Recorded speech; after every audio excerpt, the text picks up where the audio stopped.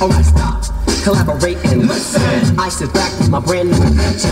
Then grabs a hold of me tightly. Like a heartbeat, daily and nightly. When it ever stop? Yo, I don't know. Turn off the lights and I'll to the extreme. I rock a mic like a vandal. Light up a stage and wax a trunk like a candle.